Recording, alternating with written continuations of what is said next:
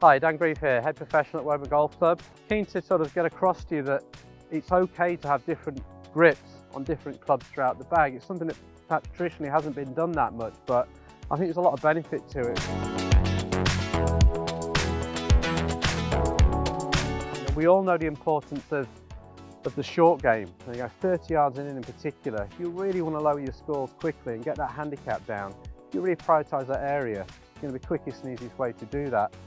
And when you do get you know, fit for your next uh, set of clubs, consider getting your wedges separately gripped. So for example, the CPX grip here is, is the Golf Pride's softest grip. But over the years, if you traditionally enjoyed, say, the multi-compound grip for the, for, the, for the irons in your bag and your woods, then perhaps stay with that because that's what you've always used, that's what you're used to. Personally, you like that grip. But if you want to really get a bit more feel around the green on these little touch shots, something like the CPX grip might be worth considering, perhaps just in your 50, 54 and 58 or whatever wedge configuration you carry.